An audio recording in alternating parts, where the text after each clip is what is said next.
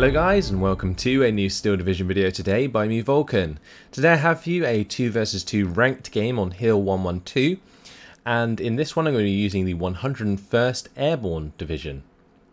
I'm also playing with Val who's going to be using the 3rd Canadian Infantry and we're playing against uh, Rochelle or Rochelle and Raptor Joe who are using the 116th Panzer and 21st Panzer respectively. So this was a ranked game, 2 versus 2 ranked, and I was kind of worried going into this because the 101st Airborne doesn't work very well on this map at all. The main reason for that being is it's a very open map and it's very wide as well. So it's very hard to cover the entire map uh, with your units. I guess the only thing that you really have going for you is that you got the M3 guns, the 40 point AT guns with 8 AP power, those can be spread around quite nicely to really help you out. So I'm going to be taking the right side of the hill and I'm going to be focusing mainly on the center but sort of, supporting the right. Then Val's also going to be pushing the center with me and supporting the left. So we weren't going to play out wide mainly because our divisions don't really allow for it. However, on the top, this is really where we can take full advantage of the units like we have. So for example, my airborne engineers will be able to fight in these uh, forests on top of the hill um, and just be able to sort of sit in this sort of hit bush here, for example, and flame into the, the trees as like infantry come up. So either way, let's uh, just jump this to my perspective because I think it just sort of tells the story of the game a lot better it's interesting sort of combination we had uh, with this, the 101st uh, Airborne and 3rd Canadian. 3rd Canadian is quite nice because they have the heavier armor support in Phase A that really complements the 101st. So you'll see that Val's going to be sending a Ram 2 to the center of the map to support me in my initial push onto the hill. Meanwhile on the right side I've literally just got AT guns. I've got an AT gun for sort of this sort of tree line to cover the right side. I've got an AT gun up here, uh, probably just to cover the right side as well, and also just to cover this little section here. And then I've got a group of units uh, heading up to here, and also just up onto the hill. And the majority of my troops were going up onto the hill at the start, and then uh, Val's just going to be covering the left as quickly as possible. So at the beginning, I think it was just important for us to spread across and make sure that we're not going to get uh, pushed in any particular place. And then we could like decide where we wanted to sort of concentrate our forces. Ideally, we wanted to go to the middle of the map. That was what myself and Val were discussing at the start of the game, that we should probably push the middle because that's where we have the biggest advantage. But if the opponent started pushing elsewhere, then we'd want to know about it, and uh, therefore covering off all avenues of attack is definitely a good idea. Let's just speed things up and let the uh, deployment go. And I'll talk about my uh, troop placement. So if I select my troops and I click shift, you guys can see that I've got an AT gun going to this tree line here, supported by a Pathfinder unit to sit in one of these trees and provide recon. Then I've got a Pathfinder unit and a recon heading up here. So the Pathfinder is literally covering the approach to the AT gun from infantry, and then the AT gun's just allowed there to sit out in the open. Then I've got uh, this Jeep dropping off an AT gun into these trees so that that can fire down the street. And then I've got a Pathfinder squad and an airborne rifle squad heading up to uh, these tree lines. All these lot are going up to the right side of the hill whilst uh, these bunch troops are more heading to the centre. I've got an airborne engineer squad to sit in this uh, forest and basically try and uh, take that entirely uh, before the uh, opponents get up here. Because if I can get like an airborne engineer into this side, I can at least then um, challenge any infantry in that, that forest. So, just dropping off my troops now. Pathfinder's not really seeing too much. I've got them into pretty decent positions here. They have uh, pretty decent sight lines towards the opponent, so we should see stuff coming if we uh, if we need to. But on the map, on the top, I was surprised so far not to see any opponents. Like normally at this point you'd have like loads of units coming straight up this road because this road's pretty straight on this side. And they would hit you really hard. Currently we already run the plus one. Val's got a little bit of a push going on this side, but mainly on the hill and just to the right of the hill. We've gone over like halfway here. And finally we see our first contact. So here comes the uh, half-tracks up the road. Going to be trying to get my uh, units into position. The airborne engineers and airborne rifles on the right side here were planning to fight through this orchard, but didn't really need to, so just moving them as far forwards as I can. Airborne leader here to basically um, cover these off. So the yeah the main idea on the right side where it's open, just AT guns with recon. It's more than good enough, especially these Pathfinder squads at close range can definitely demolish infantry. Then on the top it's a combination of the airborne rifles with the airborne engineers and airborne leaders with 50 caliber machine guns because these 50 caliber machine guns can pin down half tracks really nicely. Then Val's going to be supporting me with a, just a normal rifle squad, nice and cheap, and he's got his Ram 2 here, uh, staying out of line of sight for now. So Focke-Wulf 190 coming in with the four 5 HE power bombs is going to pin down my units but not do too much damage. And Val's going to be bringing out his own Spitfire Mark 9 to try and counter that. Here they go. For the head-ons. Oh, that uh, ME-109 there. Coming in. The G0 onto Val's Spitfire. And already they've invested in a lot of planes. So basically we need Val's Spitfire to get out of there and uh, since Val's Spitfire is already falling back I just decided to take my Mustang off the field and this is the uh, the bomber Mustang um, a large air engagement there with a lot of points invested from both sides but we're going to be uh, losing out in that trade as the Spitfire goes down however um, this does kind of tell us that there's not too much on the ground because them having two planes out just like that yeah, pretty much can just tells us straight up there's no there's no there's nothing really here. And uh, at the moment these half tracks are moving up. But they're not really doing too much. They haven't brought any infantry with them. We're not having to engage them. This half track's doing a good job at pinning down the airborne rifles. I'm trying to move up where I can just to try and take the top hill. But so far, um, not much luck. Over on the right side, the M3 gun's trying to engage some half tracks that they're trying to push, which is great because it basically uh, gives us the presence there that we need. 50 cals on the top here are now engaging some Panzer Grenadiers, but in comes the mortar fire. I'm actually going to bring in my own mortars now, just because I need something to either smoke me as I run forwards, or just something to make these guys fall back. So, bringing up the uh, mortars now. I'm just going to keep the rest of my infantry in cover whilst I wait for those to arrive. I can't really do much pushing in uh, Phase A, mainly because the 101st uh, Airborne don't have any like super strong units to push with. Like, if I had Stuarts, for example, it would be quite nice to try and push against these half-tracks on the right side, for example.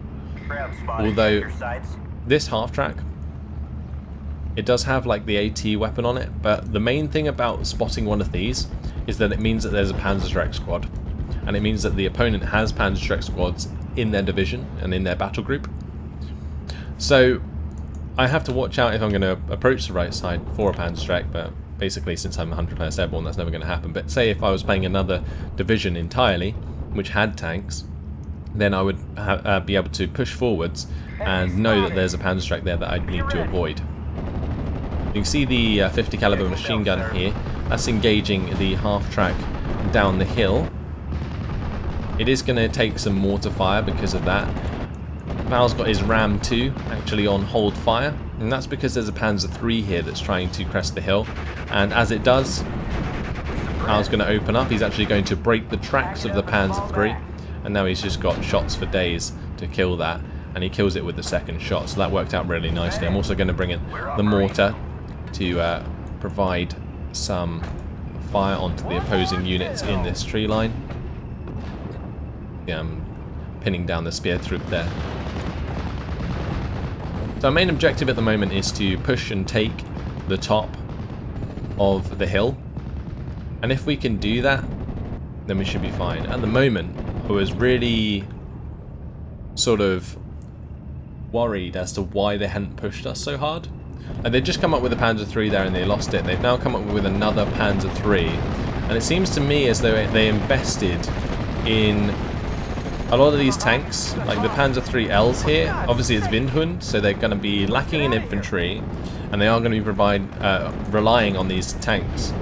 But the Ram, the Ram here, the Ram 2, is like the perfect counter to these Panzer 3s. So a second one going to go down there. I've just bought a second plane of two Mustangs. Didn't know whether I wanted to go for this uh, Focke-Wulf 190 or not because um, they do have another ME-109 in the sky. So I was coordinating with Val as to how we wanted to go about uh, taking down the enemy planes and Val's gone for the Tripolsten in the centre. That's going to force that Focke-Wulf 190 to fall back for now. Now this uh, AT gun tried to move up and uh, did actually manage to pick off that uh, AT half-track there. But now is being run down by some Panzer Grenadiers and I'm moving across the Pathfinders to uh, assist in uh, basically blocking off those Panzer Grenadiers. Up here I've managed to move my airborne rifles forwards and get them into the trees there. But since the opponent has uh, recon, there's nothing really much they can do to push up. So let's just go to the neutral perspective and see what they were doing. Uh, because at the moment, it's to me, like while I was playing this game, I was really wondering what was going on. So if we look on this left side, there's a, a massive like overinvestment in uh, troops. You've got this uh, UE 630 pack. This is, uh, I don't know why they have this vehicle because it's not great at all, but either way, it's moving across on the left side, and all Val has here is a couple of HMGs, Vickers HMGs, and a six pounder, plus the Lynx which brought in the recon. Whereas they've uh, invested in Speertrupp Panzer Grenadiers with a half track, a Panzergrenadier, and a Speertrupp with an AT gun, and I guess it's it's a similar sort of distribution of points, but I mean, they're just not pushing with these, and Panzer Grenadiers are, uh, you know, they're quite expensive squads, honestly, especially when they come in with half tracks. Whereas, like, one Vickers HMG is covering this against three half tracks and Panzer Grenadier. Like, if they just attempted to push this, yeah, okay, they're going to spot the six pounder, but then they can sort of work on mortaring that. If we look at their artillery, they had a lot of mortars throughout the game. So, there's a mortar here, they have a mortar here, they've got the uh, There's so much they could do to Try and pin down this infantry and push. So they're bringing up some Panzer Grenadiers with these two-star half-tracks. This is the Windhund player. And they're also bringing up some Flampanzers to, to push us now. Over on the right side, I'm trying to slowly move forwards my M3 guns to exploit this hole that I found. And over on the right, just trying to get rid of these Panzer Grenadiers. So if we jump to the to our perspective, we can see that they're finally deciding to push up onto the hill. And the M3 gun is here waiting to take out some half-tracks. We've also got Val hiding two of his rams, waiting for some tanks to come up, and here they come, the Panzer IV-C and the SBW-223. So Ram's going to be, um, Val's going to be sending one of the rams to the right and one to the left. this one to the left is going to take care of that half track. My airborne engineers that were hiding in this uh, tree line couldn't quite get in range to use their napalm, so the Panzer Grenadiers, they're going to rip them to shreds, and I wanted to maybe try and let them fall back, but they would have got killed probably easier if I had done. Whereas there, at least they're pinned down in cover, so they're taking a while to kill, and they're drawing the fire of the Panzer Grenadiers. Uh, Focke-Wulf 190 comes in with the bombs onto the uh, mortar. We also see the Ju-87 come in and take out our Ram 2, so a really big combined air force push at the moment from our opponents. Raptor Joe coming in with the Ju-87s to pin down a lot of this infantry. So I'm coming in with my Mustangs now. I've saved up a lot enough Mustangs to go for this fight. And I'm going to be engaging a couple of ME-109 G0s. So yeah, our opponents invested in a lot of planes at the start of this game. It was pretty crazy. And uh, they make the mistake here of actually evacing these ME-109s. And I'm just going to go for the fighters before I go for the bombers, because the bombers are easy to shoot down. Whereas the ME109s are really an issue. So if I can take out both the ME109 G0s, then I'm in a really good place, and that's exactly what I do. So I'm going to let the Ju-87s get out of there. The ME109s are the, are the ones I want to get the kills on, because then I actually have air dominance, and they can't use those bombers again without getting them shot down. So on the right side, um, my Pathfinders do unfortunately die. The airborne rifles were trying to pin down that squad, and I brought up a couple of extra infantry squads on the right to help out. Airborne leader is going to go down here as it was trying to support the airborne rifles. He's got killed by the flampanzer. Flampanzers are coming up and doing a lot of damage to the airborne rifles actually, and uh, the airborne engineers here. We're trying to do our best to uh, pick off these flampanzers. Uh, Val's trying to move up his Ram 2 to take care of the Panzer 4, and if he can get rid of the Panzer 4, that'd be great. But what's going to happen is the uh, S307 packs coming, and that's going to be a real issue. So P-51 Mustang going to be coming in onto the uh, ME-109 G0 and we're going to shoot down another one. Also the Focke-Wulf 190 there, we're going to be following onto that with a Mustang but that one gets out. So another victory in the air. Mustang's really uh, paying off now. So my airborne rifles go for the bazooka shot onto the Flampanzer but doesn't actually hit, which was really annoying. Flampanzer comes up onto my airborne engineers here and is going to start to pin those down. And the Pathfinder's here in the open as well. I should have been um, falling these guys back, but I think I was concentrating on yeah, just uh, adjusting my units on the right. Either way, um, Mustangs are still in the sky, going to be using them to strafe the Flampanzers and pin those down. I'm, I'm allowing the airborne rifles to stay here, by the way, because they're unseen, and at least they can like get their bazooka on uh, target to kill off a unit or two.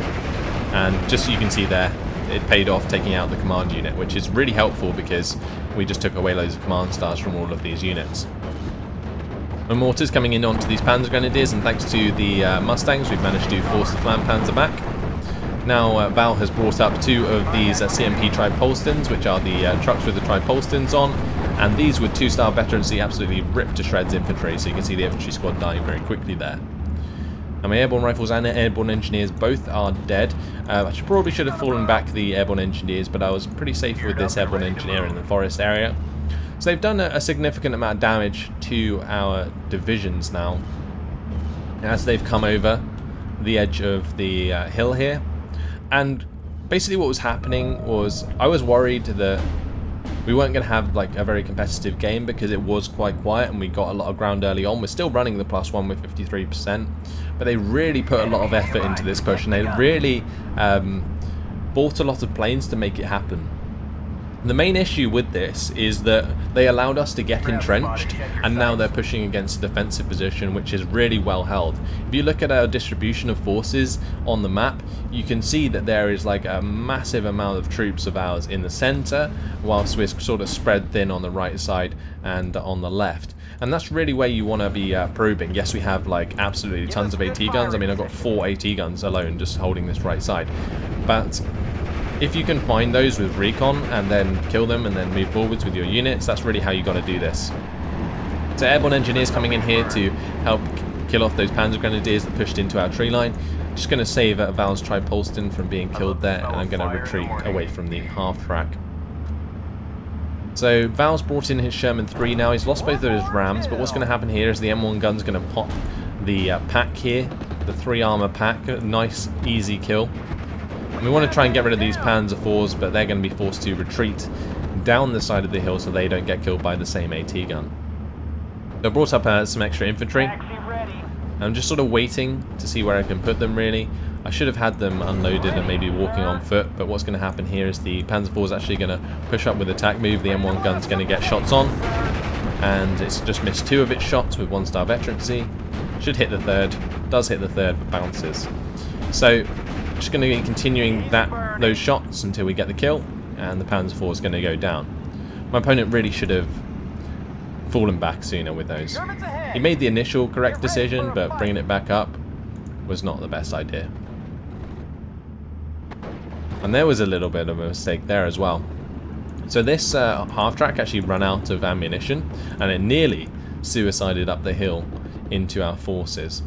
And that would have been uh, devastating. But here we can see an another build-up of pushes. Uh, we got the Sturm Pioneers supported by more Flampanzers. We're also going to be seeing the Vielfachwerfer firing soon. So, yeah, just waiting for all that to happen. I'm reinforcing the right side with a 50 cal. Because throughout this game, what I really found was without the 50 cal support or MG support on the right side, I couldn't keep the Panzer Grenadiers at a distance like I wanted to. So I'm just bringing up a 50 cal to make that happen from now on and um, I'm just spreading out the infantry up here. So I've actually brought up a bunch of engineers. So these aren't engineers with napalm, they're engineers with satchel charges. And basically if I can get them close enough to the edge of the hill without, without them being actually on the edge of the hill, then they can blow up infantry squads almost instantly, which is really nice. So just got to try and get them into cover and keep them in cover where I can. Right here, kind of made the mistake of showing the engineers and now um, Val's Paul Rifle Leader is going to take mortar fire because of me. Panzer's going to be coming up and uh, pinning down my engineers, but I'm going to fall them back almost immediately so they do not surrender. And we're still having an issue with like pushing up because we don't have like the major armor support that we need. Yes, uh, Val's have got a Sherman 3, but there's no way that that Sherman 3 alone can push over the edge of this hill um, and take out these flam panzers. So the best bet we have really is to try and move forwards like AT guns and uh, try and kill things like that. Now here a Panzer Grenadier squad's trying to probe. 50 caliber machine gun's going to be moving over to the edge of the hill to try and help out. Airborne rifles and Pathfinder's going to be coming in. I'm also bringing in a Mustang bomber just to get the uh, two 500 kilogram bombs on target just to pin down the Panzer guns there.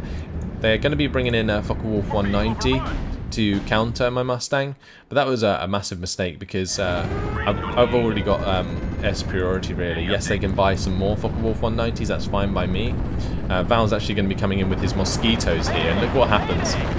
The Focke-Wulf 190s turn to engage the P-51 Mustangs, and the Mosquitoes absolutely rip these Focke-Wulf 190s to shreds.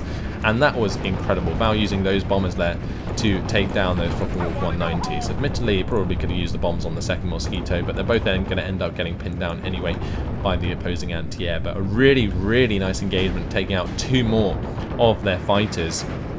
Those mosquitoes are so potent if they can get onto their targets, and that's just going to allow my Thunderbolt here to engage the Flam Panzer and blow that up. And I've also got my Mustang here to hopefully engage the uh, Focke-Wulf 190 G3. What's going to happen though? Uh, Mustang not really going to be able to engage the Focke-Wulf 190 and both my planes are going to be forced to fall back as well. Tripolsten nearly shot down the Focke-Wulf 190 but not quite. 50 cal is going to be trying to pin down this half track. Half track is not quite in range to engage the 50 cal. Probably should have moved into range because with three stars would have pinned down my uh, 50 cal very quickly. It's instead firing at my airborne rifles who are firing at the uh, Panzergrens. I've got an M20 command here as well now. That's got the 50 cal opening up onto the Panzergrens. So the 50 cal actually manages to kill off the half track eventually, so that was good. And Mustang's now coming in to deal with the uh, Ju-87s, but look what happens. Okay, so the Ju-87's coming in to bomb the 6-pounder, fair enough. As soon as they come into line of sight of these three-star Tripolstens, they absolutely get annihilated, and they crash into our opposing lines. Really, really nice kills there from Val with these three-star CMP Tripolstens. Absolutely incredible. Really, really good units. They're pushing up once again with more uh, Panzer Grenadiers, but I can't help to think that they they probably should have been using smoke, honestly. I, I know I make the mistake, and I'm, I'm, probably a hypocrite for saying it, but like having some smoke here to allow all of these infantry to run forwards and spread out a bit would have been really nice. And they do have so many mortars. Like if I show you guys, they've got this all of these half tracks. They should have been using those, that's for sure, to help out. But just these half-tracks, yes, they've run out of ammunition, but you've got 10 smoke rounds there. Why don't you use them? Uh, Vielfachwerfer is going to be trying to rocket where it can. But that's going to be moved. But, yeah, just use your smoke. I mean, I know, I tend to actually use smoke when I've run out of other ammunition, because I, that's when I remember. But over on this left side, Wolverine is going to take out Panzer IV. Really nice. So Val's done a great job there yeah, a lot of this infantry wouldn't have been hit so easily if there was smoke here. Also, they're just sort of butting heads into the center of the map still. So as soon as they come over the horizon, like across the crest of the hill there, the M1 gun just destroyed another half track. And that's just going to continuously happen. Also, the air engagement's going so far in our favour, it's really helping us out. And an ME-109 making the mistake of flying over the hill again. That's going to come down, nearly crashed into some infantry there. Just seriously though, these mosquitoes doing an amazing job. I'm out. Over. The Vielfachwerfer, perfect use of uh, the unit there to uh, pin down all of this infantry because this we've got a large concentration of infantry here. This is uh, actually not the most ideal, but um, we were just concentrating in the middle because they were pushing us in the middle so hard. But what ended up happening was, if we jump to the neutral perspective, the Vielfachwerfer actually got bombed like mid through the uh, like Vielfachwerfer strike. So it only managed to use like a certain amount of its rockets before getting pinned. And But ide ideally what would have happened here was they would have used this infantry with smoke plus the Vielfachwerfer to push into this uh, forest here. That's what they could have done. Um, but they instead decided to just try and uh, run the Panzer Grenadiers across the open and try and just get them into these tree lines, which is fine, but just you need to have them covered by something. Either a large amount of fire support, like IG-18s, or, I don't know, just like a large amount of tanks just coming up with your infantry, so you don't use smoke and you just use the extended range instead. But oh, this off-map artillery, just absolutely annihilating them as they try and push back up into this tree line. Um, yeah, we moved into phase B and C, so I've got the off-map available, and um, there's not too much they can do now, if they keep pushing in the same location, that is, because it's so easy for me to predict where they're coming from. You know, you can you can see all of this, and yeah, it's it's just I don't know. Either way, uh, Mosquito's coming in to uh, bomb the Nebelwerfers. He's going to manage to get the shot off. I'm bringing in my Mustangs just to cover it off because our opponents were using a lot of like uh, planes. Uh, also, the Nebelwerfer is going to go down there to the, the Mosquito bombing strike. I also tried to use the Thunderbolt to uh, get, get rid of one of the AA half tracks. And what's going to happen here is my off-map artillery just decided to go for a drive uh, towards the enemy and uh, gets destroyed. So that was really stupid of me. Uh, that actually had two strikes left. I'm, I'm, I'm scared to admit this, but basically that was probably the one of the most stupid things I've ever done. Um, the off-map artillery there, I was trying to get it into range to use the Nebel to kill these Nebelwerfers, but the thing is, Val was hitting them with the Sextons anyway, so I didn't need to like go that close. But I was basically just trying to get it close enough to do the uh, strike, and what I what I ended up doing was fast moving the artillery into the enemy lines just to get it like close enough quicker, just with the quick order, and then I forgot about it, and it just drove itself into the enemy, which was silly. Either way, uh, more units going down. Not too much of a chance that our opponents are coming back from this one. Uh, we just killed their Panzer IV there, and um, you can see that even this this push, we can probably go for like an almost, like a counter attack almost because we've got such a large concentration of units on this hill um, that have just been surviving because they've almost been not half-assing the attack, but just not been doing it efficiently enough to do much damage to us. So we're currently still running the plus two with a 58% uh, territory lead. On the right side, I've actually made a lot of ground, pushing forwards an engineers squad aside um, a pathfinder, like exploiting this hole that I found earlier. Like I've been slowly moving infantry up here for a little while. And this is actually coming up behind a mortar half track, and I'm trying to get the engineer's satchel charge to uh, blow that up because it probably can. Uh, over on the left side, Val's also probing the lines. Since they've invested so much in the centre, it's become pretty obvious that there's not too much defending elsewhere. Opponent plane coming in to try and take on my Mustang, but our opponents decide to surrender, and that is GG after 25 minutes and 6 seconds. If we jump to the team perspective, we've got uh, 1,655 kills to 480 losses for Val. Really did a great job with his tanks. Uh, the Rams really being invaluable at the start of the game on top of the hill, along with the uh, like the Sherman 3 that he brought up later and the Wolverine. They were popping lots of units. Uh, alongside that, um, the AT guns were doing a, a good job. He had uh, the 17 pounders on the left side that brought in and uh, were doing a lot of damage. On the right side, my M3 guns were holding very well, but a lot lighter, and I think they should have definitely been like probed a lot more. So move up like a spear troop squad, spot those spot those AT guns, spot like the lack of defense, and then just like arty that and then and push through. Whereas like on top of that hill, it's really hard to get like like recon up to see what's there um, without the recon being spotted itself because it's so close range. Whereas like on the sides of the hills, especially considering they're using the 116th Windhund and the 21st Panzer, that's where they want to push because it's a lot open, a lot more open. There's a lot more like long range sight lines, which you really take advantage of with tanks and uh, like with the spear troop.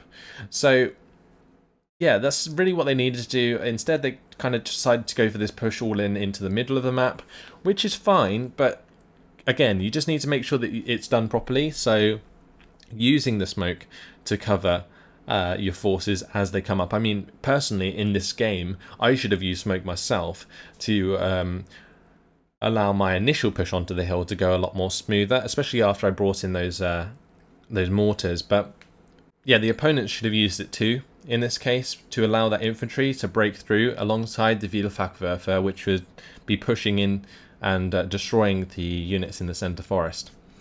But either way, uh, yeah, that's about it. If we jump over to the kills perspective, we can see that my Mustangs did work on the ME109G0s. That was the other thing. Complete overinvestment in planes. Obviously caused us to overinvest in planes, but I'm an airborne deck, so it kind of makes sense for me. Whereas for a 116th Windhund and a 21st Panzer Division, I'm not entirely convinced that it, that buying that many planes was a great idea. I guess if you want to take control of the skies, then then fair enough. Like it's it's something that you might want to do against 101st, but it, in my eyes, it's almost inevitable that the 101st Airborne is going to come out on top, especially supported by a third Canadian with the uh, mosquitoes, because those mosquitoes are just so so damn good. Um, but either way, yeah, M1 gun picking off the uh, PaK and the Panzer IV in the middle also took out the Flampanzer. So this M1 gun really did a lot of work, especially taking out this PaK for Valh so he could use his uh, Shermans and stuff on the hills properly. And then we got the uh, 50 cals pinning down some troops here. Uh, Thunderbolt came in there, got a kill. This naval battery absolutely derping as it runs into the opponents. But if we look at what the majority of the stuff did did damage here, it was actually came down to mainly like mortar fire and uh, just some Panzer Grenadiers getting some kills here and there. Um, also like artillery, so we've got uh, kill from the Nebelwerfer and the uh, Flampanzers. But yeah, like just trying to push into that middle was not the best idea yet. Defend it on your side of things. If you're gonna like let me let us have the hill, then just defend it and push on the sides. That's that's pretty much it. I, would say like as soon as one as soon as that hill goes to one person or the other, just stop trying to push up it because the sight lines are too short. As soon as you come over the edge of the hill, you're going to get killed by an AT gun, by pinned down by machine guns, all that kind of stuff. It's absolutely horrific. So unless you have some like decent artillery with the smoke support that I was talking about, there's no point in really trying it. Either way, um, hopefully you guys enjoyed this one. It was interesting because the 116th really shouldn't win on this map, in my opinion. And it's quite hard. Um, and I was really worried about that throughout the game, but I just didn't get pressured in the right points. So I managed to get away with it. So there you go. Hopefully you enjoyed it. Thanks for watching, and I'll see you in the next video. Goodbye.